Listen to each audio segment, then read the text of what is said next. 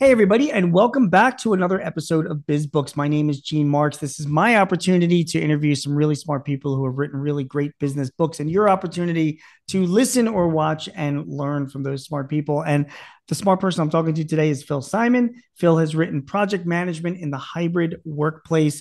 First of all, Phil, thank you very much for joining me. I'm glad that you're here from Arizona. Hey, Gene, thanks for having me. I'm looking forward to our chat. Yeah, we have a lot to talk about. I read your book cover to cover. I took like a bunch of notes, like 11 pages of notes here, which oh, you were the one. All of them. I know. Uh, it, it, this will be easy for you. Trust me. It's just, I'm not going to put you on the spot, but it's just more memory joggers for me than anything else. Um, but it, it, was a great book. it's about project management for project managers. Uh, but first of all, a little bit about yourself. Like, tell us a little bit about who you are and and why you wrote the book. Sure. I've written now 13 books. Project Management in the Hybrid Workplace was number 12, and that's the focus of today. But before then, um, I did a lot of consulting and still do to some extent today. I'm a former, I'd say, recovering college professor.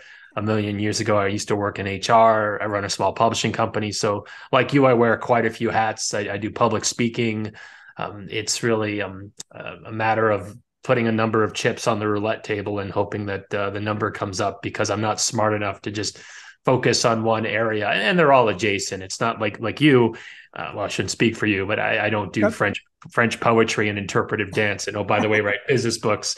So they're all sort of adjacent areas, and certainly not uncommon for writers and speakers like ourselves. Yeah, I'm glad to hear that. And uh, you know, and this is such a, a topical topic. I mean, you know, managing people, you know, when they're they're basically not face to face anymore, all of that has changed. But even before we dig into that, you know, before we started recording, you had mentioned because I'm from Philly, you did a project. You said, you know, at a, at a hospital in Philadelphia, the hospital I was born uh, just by coincidence, and you know, and you were saying that it was, you know, it was a struggling project, and it just, you know, the reason why I was wanted, I wanted to read this book, Phil, is that like my even though I do a lot of writing and speaking and all that, really my day job is I run a 10 person company and we implement CRM systems. Um, you know, we do like Salesforce and Dynamics and Zoho. So we do projects and we've had good projects and we have had nightmares. You know, I mean, we have had profanity filled violence, you know, on some of our some of our projects. Um, and and I personally am challenged now with with you know running these things in a sort of a virtual environment. Although my company has been virtual since 2005, so I'm going to just kind of start out and just just ask you like you know, I guess you you the, the idea from this book came from the fact that you know everybody went home to work, you know, and and yet life still went on, and that that created a whole bunch of new issues for people running projects, right? Yeah, that was part of it. Um, my previous book to this one, Reimagining Collaboration, um, espouses the benefits of Zoom, Microsoft Teams, Slack for just general collaboration, um, right. sort of the day to day stuff. But a large part of what we do, by some accounts, some, some statistics I've seen, two thirds of all quote unquote work is project oriented. So when the pandemic happened, my contention is, and the data supports this, that if you worked in a process oriented job, it's a little bit different, but it really wasn't that much of a shift. In other words, if you processed checks, if you did insurance claims, if you were a customer relations rep like I was when I had a full head of hair, um, that didn't change all that much because you would just dial in from home and there might have been some hardware concerns or maybe you heard the dog in the background, but that went off relatively without a hitch. Going back to that Philadelphia project in 2006, it was an ERP, not an ER not a CRM project, but those right. are very similar. Right. And that was all in person, and that project blew up. Yeah. So, um, as I worked on a number of hybrid or remote projects during the pandemic for consulting or writing, and I even start off the book with one that should have been a slam dunk. Mm. But within two weeks, it went gone off the rails. And within six weeks, it had absolutely imploded. And it was very much a hybrid project. And a lot of the issues on that particular writing gig stem from different time zones and preferences with technology and things lost in translation and an inability to use common tools. So I said to myself, um, and I think I start off that book with a great Seinfeld quote about how we never should have put a man on the moon. Right. Because now we can say, well, we can put a man on the moon, but we yeah, can't no. this, this project right. So uh, it just occurred to me that maybe this was an extreme example, but a lot of the interactions on a project can take place virtually. but we lose something. So, as a good example, if you and I are working on a project together and you say something in a meeting, I could tap you on the shoulder, say, Hey, Gene, you have a second. Well, if we're all hybrid or remote, then I could throw you a message in Slack or email or even text you. I don't know if you got it. I don't know if you understood it. I don't know when you're going to respond. So there's an example, the book of um, a friend of mine used to be one of my best students at Arizona State when I was a professor there said he had a five minute question. It took him five days as a response. And when you think about project management as the accumulation of all these certainly milestones, but also individual tasks that make up those milestones, little, to quote the immortal Kevin Hart, little problems become big problems. Mm. so, and I didn't see of the 30,000 books on project management on Amazon at the time, I certainly didn't see one specific to hybrid project management. So I think I did a decent job in the book, Gene, of not trying to reinvent the wheel. And there is right. one cha- one chapter, chapter four, that gets deep into project management. But I certainly don't have a new methodology. But I want to manifest some of the things that companies and individuals and team leaders ought to consider to increase their batting averages. Okay, so a little bit of a curveball throw you here, which you um, because this is not in your book because it's just data that just got released this last week, and I just wrote about it. The um, the Bureau of Labor Statistics uh, released a, a, big time study analysis of workers working from home versus working in the office during 2021. So it's very very recent data, and they found that the average employee working from home uh, worked actually worked on their job about five and a half hours a day mm. compared to the average employee working in the office who worked about seven and a half hours a day. Um, and this is again, this is time studies, and it was a pretty extensive amount of research that was done. You you gave you you early on in your book you you talk about you know a, uh, you know, you know reporting that was done about how many people uh, want to work in the office, you know, and you know, the numbers came out where it was between like 40 and 50% of these people, the employees that were surveyed, um, either wanted to work from no, not at all in the office to like no more than two days a week in the office, you know, um, which presents a huge issue for project managers because it's the data is showing that when people work from, and I'm not saying everybody, you can't generalize. There are some people that work really hard from home, but you know, we all know that there are other people that don't. So the sure. averages are showing that there's less work being done hybrid yeah. and it's a huge challenge for project managers how do you we, we could have a very long discussion about that because one could make the argument and i haven't seen that particular data but i'm mm. just going to play devil's advocate in that seven and a half hours is a lot of it kabuki theater right we're sitting in the meeting and we're pontificating or mm. we're doing whatever versus at home where no one's watching us are we being a little bit more authentic with our time? I'm not saying that people don't slack off from home. Clearly they do. Mm. and i'm not saying that people are always 100% productive when they're at work. Right. and this idea i remember when byod became a thing bring your own device no we got to stop that because it'll stop them from slacking. Right good good luck with that because people will find a way whether it's grabbing a cigarette break or taking an extra long lunch. So uh, yeah the data that you reference from my book uh, is usually anywhere from two to three days. And i find it really interesting when companies like slap um, snap excuse me never mind uh, twitter yep. mandate that you have to be in the office like covid never happened. That might work short term but enough companies as you know gene have crossed the rubicon and whether I, am not saying no one should ever be in the office or you should never work at home. I do think though that uh, this is why I wrote the book. The future is going to be hybrid. It just doesn't make sense. There are real estate costs with having everyone with a desk. And if I can do the work, if it's collaborative, if it's team building, if it's a performance review discussion, if it's brainstorming, anything like that, I, would be hard pressed to make the argument that that is as good over Zoom. But if I'm going in to really focus and do what Cal Newport calls deep work, I'm sorry, why do I need to commute an hour and a half each way to do that? Right. So that leads this um, gray area in between. But but you're right to the extent that project managers are often herding cats um, it's tough for them to get the basic um, status update of things. It's one of the reasons, for example, that I recommend from the get go, particularly if you're dealing with multiple organizations, you settle on the tools or the tech. Because if everyone says, well, I'm going to use whatever I want, well, your project manager's job just got 10 times harder. Yeah, it makes it, makes complete sense. Um, all right, uh, let's dig into some of the concepts that you talked about in your book. Um, one of the things that you wrote about is something called proximity bias. Can you explain what that is?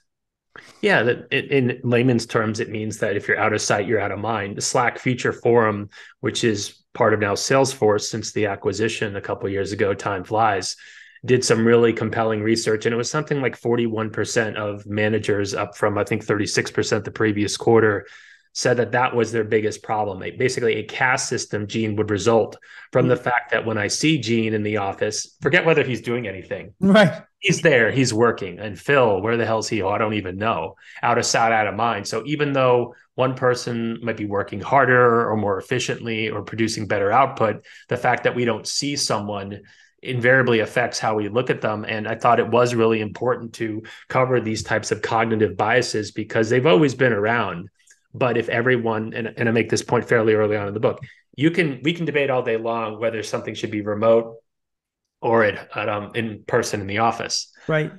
But if everyone's there, there's no proximity bias, right? But once you have it, well, sometimes he's in, sometimes not. His manager requires it, his doesn't. Oh, it's a Tuesday versus a Thursday. That all factors into how we perceive things. And uh, there's just a number of different biases that affect how we look at things. So it's silly to assume that you're going to have equal presence, even though companies like Google and I just saw on um, this uh, Wall Street Journal video on YouTube with Citrix, they redid their whole headquarters.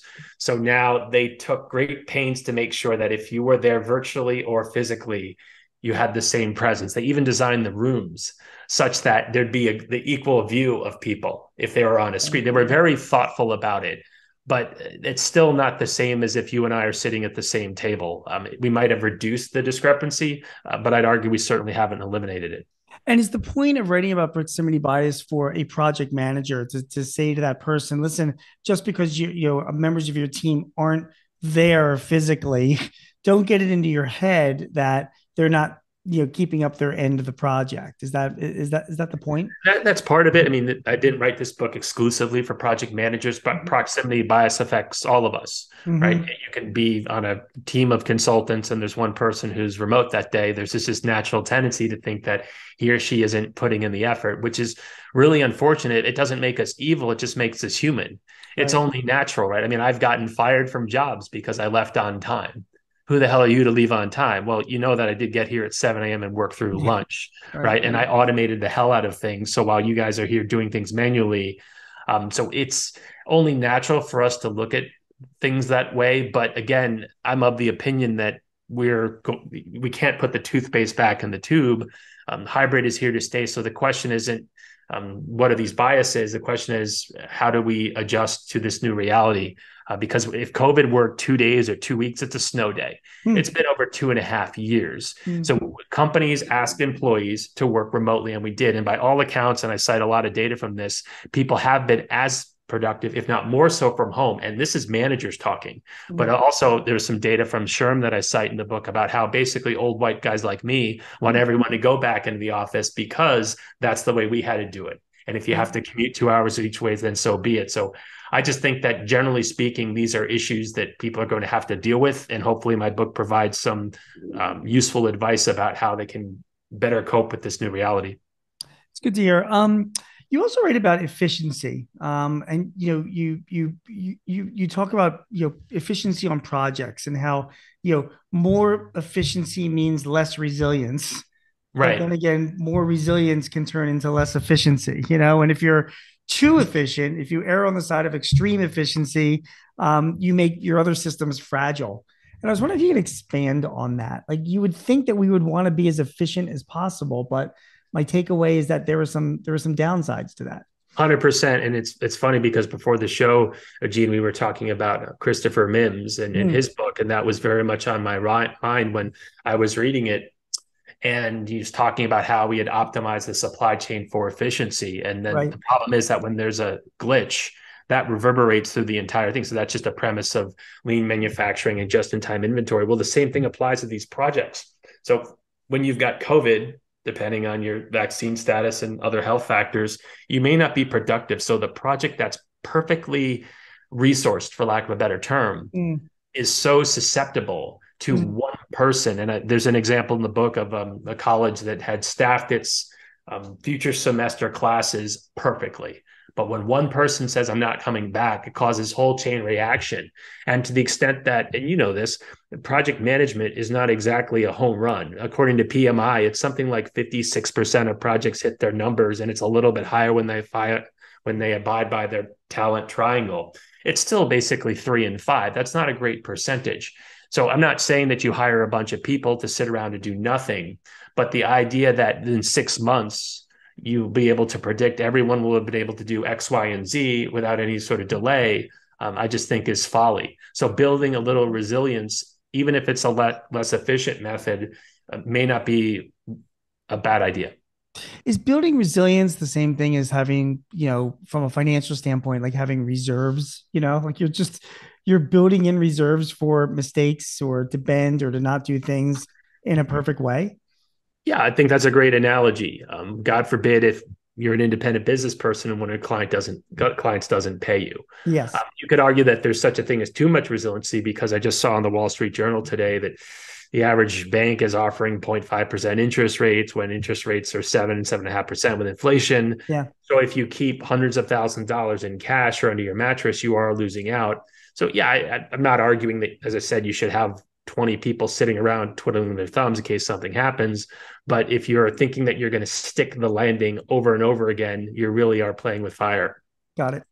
You know, you're right at the beginning of the book, and then you revisit it a little bit later on about um, um, pro- project management professionals, like being like a PMP, um, which is a certification for the industry itself. And and you're right, is that if you to be a PMP, you have to get like you know you, you, get expertise in certain areas of you know knowledge areas you know integration management and scope management and risk management. And i'm just i'm kind of curious like you do you put a lot of weight behind people that are that are pmps do you if you're a if you're an organization and you do a product i mean should i be hiring pmps to run my crm projects? Here's the way i look at it. Um, if you've got a pmp that's great but lacking one is neither necessary nor sufficient for success so when I think about my own career, and I don't have a PMP certification, and I'm not dunking on them, there's definitely value in going through that. But if I'm a 22, 22 year old recent college grad who's never managed a project in the real world, um, you're pretty green. Yeah. Conversely, if you're a grizzled 50 year old vet like I am, and you haven't taken it before, but you've seen this movie a few times, you probably know how to deal with a difficult person. Otherwise, you still wouldn't be a project manager. So it right. can't hurt but the idea that you can spend three months studying and pass a test, especially with what we're seeing now with some of the artificial intelligence out there, um, can't hurt. But uh, that the presence of that alone does not, by definition, make that person effective. Got it. Okay, fair enough. Um, let's keep digging in. I, you know, I and by the way, when when I have these conversations with, with people about their books, I just want you. I'm not. I'm trying. It's like a it's like a balancing act for me. And in, in the time that we have, not to give away too much, it's in the book because I want people to buy the book, you know. So, but so we're, we're covering some of like the the broad points, but some to me, some of the more interesting points I think are fun to talk about. You write about something called um, the Goldratt's theory of constraints. Oh, right. tell me what what that is, or tell our tell our listeners. Yeah, there are a lot of different versions of it, but uh, a, a common offshoot of it, if you like, is fast, cheap, and good. Pick any two of the three. Okay. I laugh when I hear people say, "Oh, we've we've optimized across all these different dimensions. We can pay people as little as possible and get these amazing results always on time." No, you can't.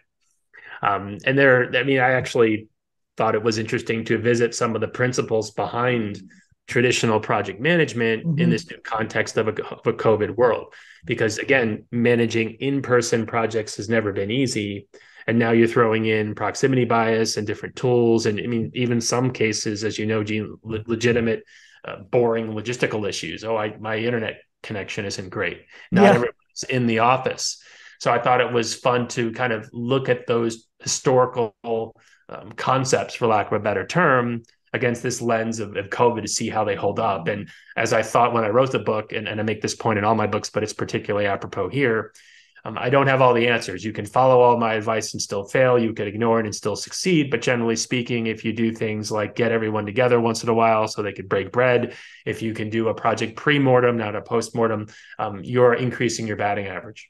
Got it. You know, you do take some time to go through some classical, you know, theories and methodologies, you know, for people that are uh, students of project management. You talk about something called the waterfall method as well. What's that?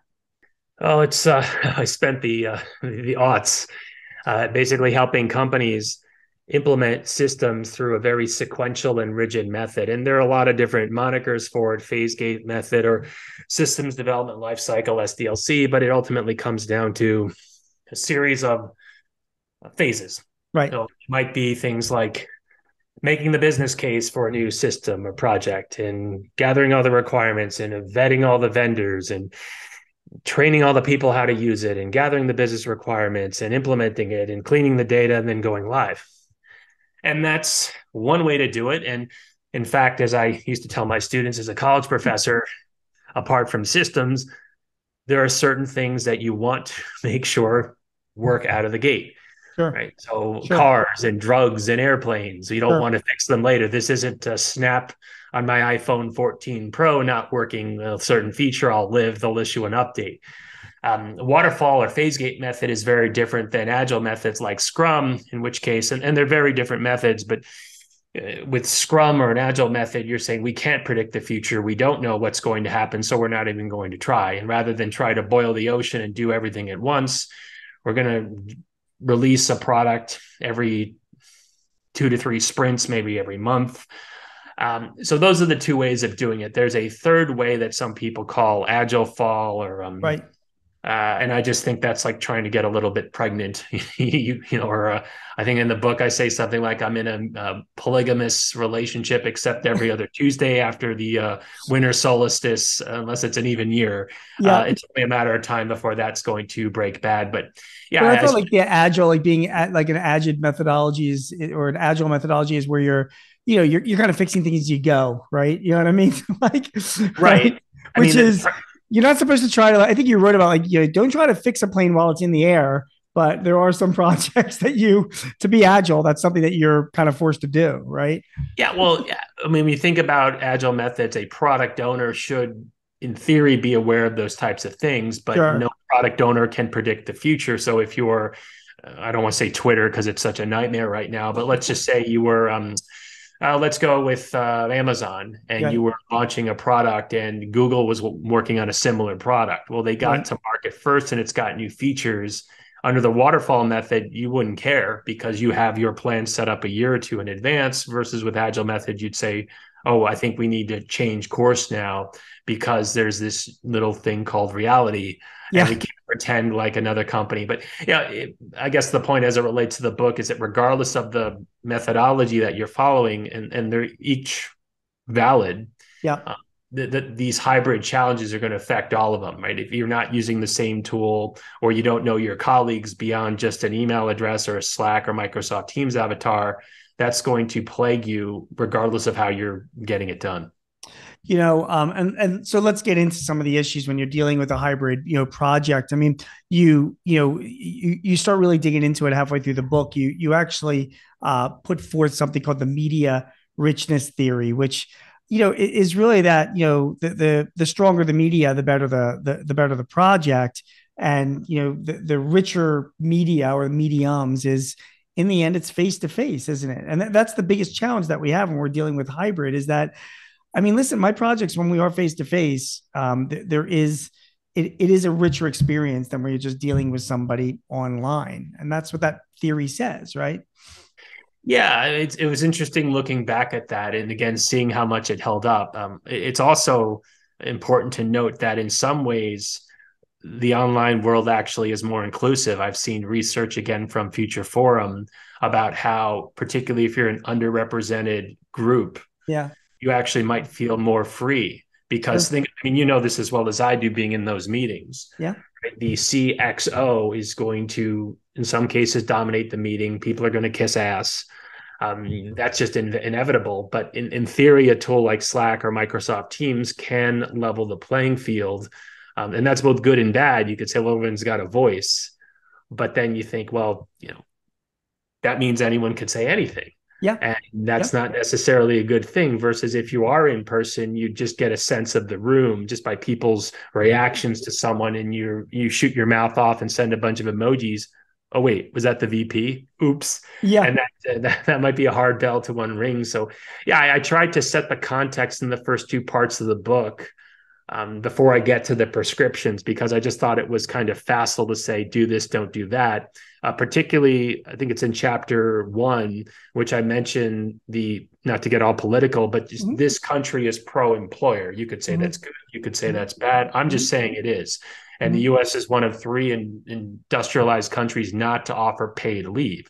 So when COVID happened, it was this once in a lifetime opportunity to invert things. For so long, we've had our personal lives revolve around our professional lives. Right. And with hybrid and remote work, we've been able to flip that. So we've been able to become, I would argue, better citizens, have more balanced lives, exercise more, um, see our family members, whatever you like to do. So that's why people aren't going to give this up. And I'm just fascinated as these companies announce playtime's over because um, so many companies have seen the light and you see this in the data. I think it was LinkedIn. I, I think I quote it in this book. Uh, they said that uh, year after the pandemic, the number of job uh, job descriptions with the word remote had spiked. I think it was three hundred and fifty seven percent. Sure. So enough companies get it. I'm, I'm, not again. I'm not saying that you have to always be in the office or you could not be productive at home. But I, I, I am really curious to see how some of those graphs that I put in the book uh, ultimately play out you know, you say that um, with all the benefits of working from home, and you're absolutely right. There are a lot of benefits from mental health uh, balance, from uh, you know, from uh, family time that you're spending, for you know, the, the more independence and mobility over your day. One of the downsides that you write about, though, is about um, social capital and how you know working from home does erode that. Um, what do you mean by social capital? Yeah, I mean, a lot of research suggests that if two people are equal, the one who gets the promotion is the one who maybe has the better relationship with the decision makers. So right. if you are mid career, like maybe I am or you are, and you already have known people for five to seven years, then if you see them on Zoom, what's the big deal? But if you just graduated from college or you're new to a company, I'm sorry, who the hell are you? So sure. you miss these opportunities. Tony Hsieh, rest in peace, um, used to talk about collisions. Even though the research on that is very mixed, but there's this mythology out there about running into someone at the water cooler and they have this great idea. I know google i covered this in my book on analytics did specific research. This is fascinating about the plate sizes because hmm. they didn't want them to be too big because if hmm. you did you would a waste food and then b um, eat too much and not be healthy. But then you wouldn't go back and maybe bump into someone. They also did research on the length of the lunch line Mm. If it was more than 15 minutes, people said, Oh, I'm not going to wait for this. Mm. I'll come back later. Mm-hmm. And if it was shorter, right, they wouldn't have that time online to meet someone from another part of the company and say, What are you working on? So, mm. you know, I, I tried to do the research, but yeah, if you don't, getting back to your question, um, have any skin in the game, not just it hurt, hurting you as an employee, but also from the employer's perspective or management's perspective. Think about this: if I've got no social capital, right? If you're just an email address to me, and I can not even have to move, mm-hmm. right? And I can get another remote job that pays 7% more. Yeah. Look, if you make $30,000 a year, 7% is significant. Yeah. But if you make $100,000 a year, 7% pre tax, if you really like your company and the management, all right, that's tougher to justify making the move. So sure. it does behoove people. That's why one of my recommendations is to get together. And I don't have the right number. It could be once a week, once a month, once a quarter, once a year but we see this with um, Playfair Data, one of the sidebars in the book. They specifically twice a year get everyone together at each of the offices and do something social. And that way, when they are doing the remote or the hybrid project, it's oh yeah, I was I was watching whatever uh, Better Call Saul last night, and I thought of you. So it's these uh, social interactions that can go. You know, I, I don't necessarily want to leave that company because I like these folks, even though I can make a little bit more. Yeah, it's funny. I mean, you, you do keep getting back to that, which is you know uh, you know, it, and and it gets back to the title of the book. I mean, it's hybrid, hybrid, hybrid. There is obviously all the benefits and the reality of people working from a home, but all of that sort of you know, FaceTime is needed, and otherwise that social capital goes away. You also say, you know, you know, when you're giving advice to both, you know, employees and managers about being collaborative and you know, really making the effort to spend time to get to know your your colleagues and your partners and your fellow workers as it is, you know, and um, you also you also give some advice that says um, you, you say to think face up, not face down, and I'm curious what that means. Is that some like um, you know reference to just drinking too much on the job? I don't think I've made any drinking jokes in this one. Uh, but yeah, that's what was missing from the book. there you go. Uh, next edition. Next edition. Uh, I mean, if I'm coming into an office, and again, if, when I watch the videos of companies like Citrix and LinkedIn that have spent millions of dollars redesigning their offices. Yeah. I think Citrix, this was interesting. So pre-pandemic, their headquarters, I think it was in Manhattan. 70% of the space was dedicated to face down individual work, desks and cubicles, whatever. Right. Now they inverted it. Now mm-hmm. 70% of the space is for face up. So I'm talking to colleagues, I'm meeting with them, we're brainstorming. It's it's a physical meeting. It's not checking email. Because you can argue you can do that from home, right? Right what's the point? So yeah, if you're going into the office, you do want to be more face up as opposed to face down. And I think that business travel in general is going to be more purposeful, right? If it's employee training, yeah, I can do that online, but we both know that people are going to be checking their phones and not paying attention, and not get as much out of it. Right. But there are other instances in which, you know what, it's Friday, it's a half day, or it's the day before Thanksgiving. Traffic's going to be crazy. Why don't we do it in this way? So there are going to be these judgment calls that managers have to make, and you're going to see some inequities, right? Well, how come they have to come in? We don't have to come in. And in fact, I discovered this working on the new book, something like um, actually it's 100%, according to a Chicago, University of Chicago study, 100% of IT jobs can be performed remotely. Hmm. so that's a tough one because those folks are very much in demand. So I, I, you know, certain things like physical security, if you're a chef, that's kind of hard to do remotely. Maybe in 10 years we'll have ro- robotic arms that we can control. but it's um, you know, it's I, I just don't see how you get around just because you can do something in a purely remote fashion doesn't mean that you should. And if you look at the companies that have been successful, they've been building up muscle memory for remote work for years. I'm talking about Automattic or GitLab. Mm-hmm. Those two right. companies are consistently sort of media darlings, right. and their managers are talking on shows like CNBC all the time. Um, they didn't just hit a switch. They've been building up for this for a long time. So hybrid is hard because of proximity bias and some of the things that I mentioned. So hopefully my book helps people get their arms around this and, as I said, improve their batting averages. Uh, you talk a little bit about technology in the book as well. Um, you know, and and you are a big fan of project management platforms. You, um, I mean, you you say in the book how you know if you're just using just a spreadsheet to manage a project, you're you're probably missing out on some of the things that you should be thinking of. Um, which leads me to believe that like if you some people put push off investing in a project management application or a platform mainly because they don't want to conform to that platform. You know, they have their way of doing it.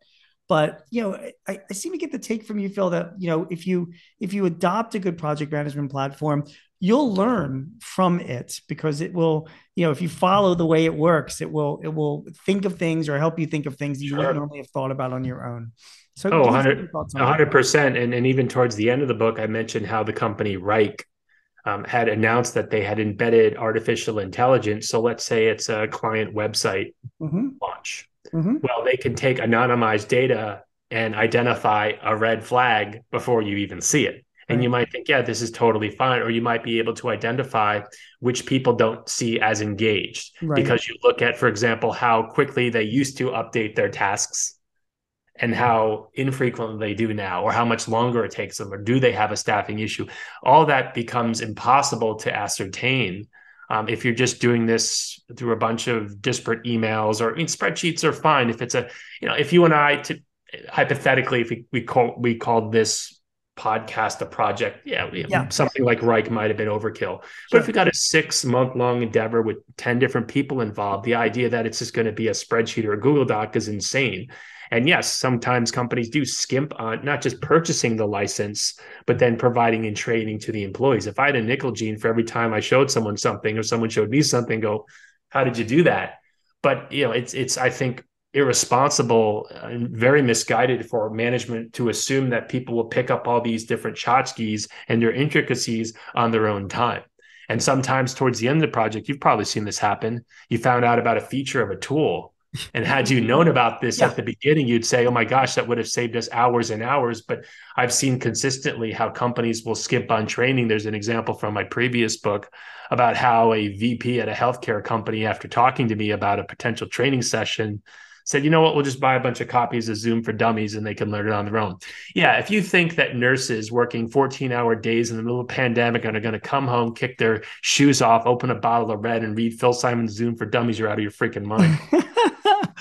you know, it, it's funny that you mentioned that about about these applications as well, about you know taking the time to learn and all this stuff. The um, don't, you agree that most of the mainstream project management applications, there are a bunch of them that are out there, um, they're mature enough now that they don't need a lot of customizations. I mean, if the, if the majority of the time was spent in just learning how to use the existing application out of the box, it would probably provide, you know, uh, provide the biggest return on investment to anybody running a project. Does that make sense?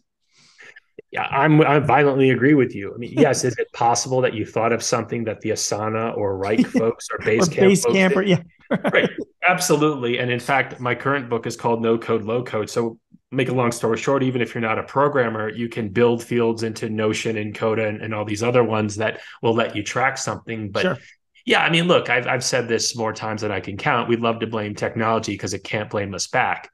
And if, again, if I had a nickel for every time I sat in a meeting and someone says, well, this application doesn't do X, Y, and Z, I might say, well, it actually does, or it does something really similar, or yeah. you don't need X, Y, and Z. I, yeah. I remember sitting down one time with the head of benefits at a large retailer in Manhattan, said, I need all these reports. So I said, yeah. all right, explain them to me. What is this one?